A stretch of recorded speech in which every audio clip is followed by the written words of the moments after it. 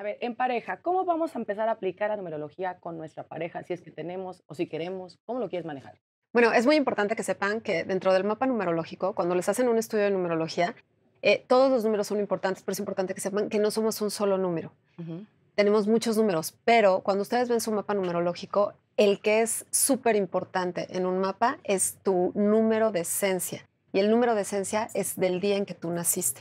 Entonces, para poder saber qué número de pareja eres, van a sumar tu día de nacimiento más el día de nacimiento de tu pareja. A ver, nos, ok, día de nacimiento. Yo soy 25. Imagínate que tú y yo somos pareja. Ajá. Yo soy 25 y tú qué eres? yo soy 2. Ok, entonces somos 2 más 5, 7 más 2, 27. 9. Si tú eres 25 y yo soy 2, seremos 27.